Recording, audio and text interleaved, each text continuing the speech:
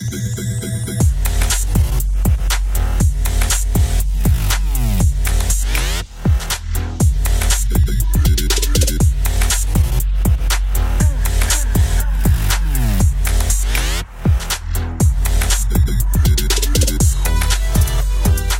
you come to the Canada Aviation and Space Museum, you can see hundreds of pieces of history, but there's one that you cannot miss.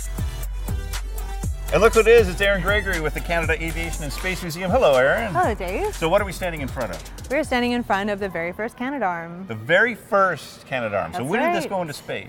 It went into space for the first time in 1981 Right. and retired in 2011, 30 years. And how many times did it go into space? It went to space 23 times. It traveled 153 million kilometers. Wow. Yeah.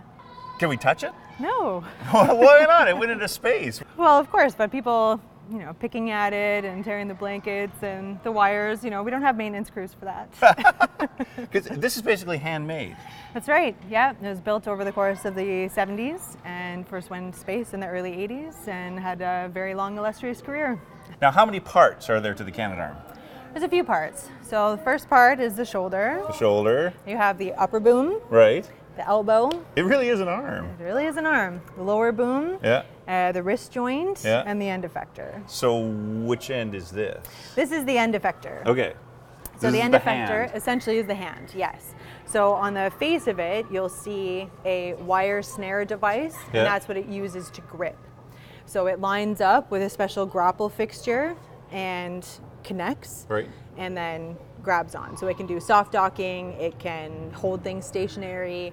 Uh, it's actually quite dexterous for, for what it looks like. Because it doesn't look like there's any fingers No, on it doesn't it. at all, but that's the, that's the design of the grapple feature. Now, when the space shuttle Columbia blew up, the role of the Canadarm changed.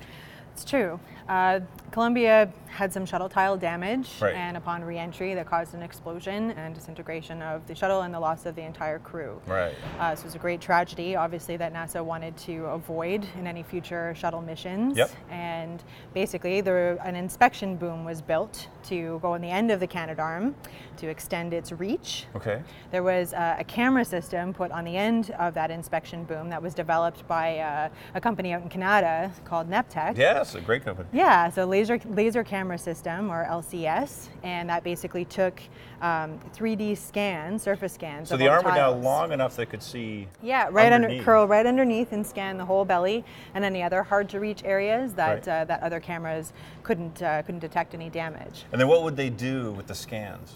They would send the information back to Earth, where 3D prints were created. Uh, the 3D prints were sent to NASA as well, and So they these would 3D look- prints were made in Ottawa. Yeah, and sent to sent to NASA, and then NASA would examine the damage and decide uh, whether or not a spacewalk was going to be required for to repair the tile, or if the damage uh, you know was, was deemed to be you know not significant enough to prevent reentry or to cause you know cause any other disasters on reentry. So other than the Canadarm, what else is there to see here? Well, we have lots of great stuff at the museum. Currently, we have Chris Hadfield's Sokol suit on Right. display, and we also have His our Sokol suit? his Sokol suit. So it's the one he wore in space? That's right, to and from the space station aboard the Soyuz. Cool. Mm-hmm. And what else is there?